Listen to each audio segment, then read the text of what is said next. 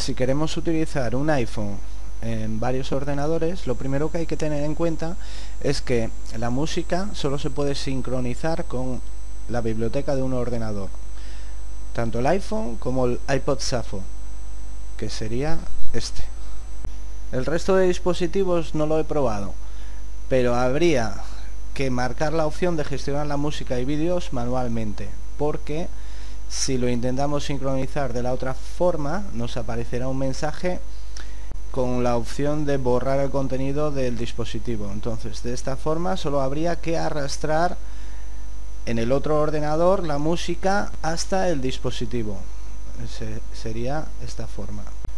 Arrastrándolo hasta el dispositivo. Si luego queremos quitar alguna, podemos suprimir quitando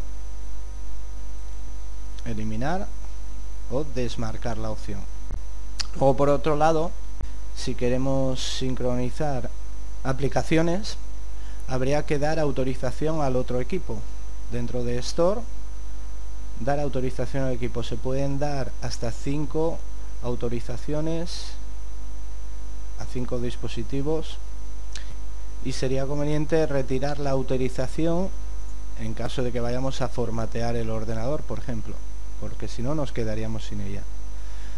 Y luego lo demás es simplemente dentro de por ejemplo información marcar las casillas de sincronización. Se pueden sincronizar contactos calendario notas y cuentas de correo electrónico.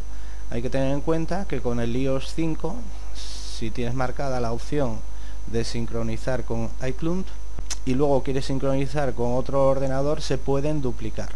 Es tan sencillo como eso. Si vas a sincronizar aplicaciones se me olvidaba sería conveniente transferir compras. Al igual que las compras que has hecho de música se transferirán al otro ordenador